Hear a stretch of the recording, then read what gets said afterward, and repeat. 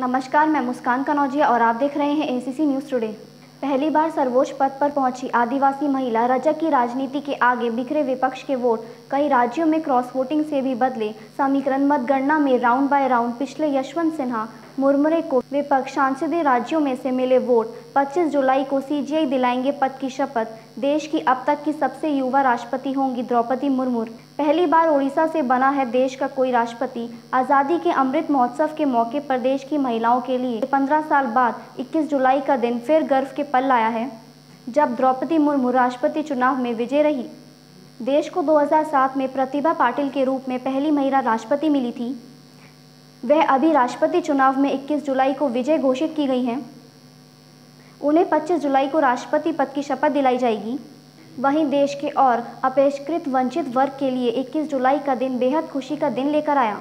राष्ट्रपति के लिए द्रौपदी मुर्मू की जीत के ऐलान के बाद उन्हें गृह राज्य ओडिशा के आदिवासी इलाके में विशेष रूप से उत्सव जैसा माहौल है। घर घर दीप जलाकर जश्न मनाया गया। मुर्मू को प्रधान न्यायाधीश एन वी रमना 25 जुलाई को पद एवं गोपनीयता की शपथ दिलाएँगे।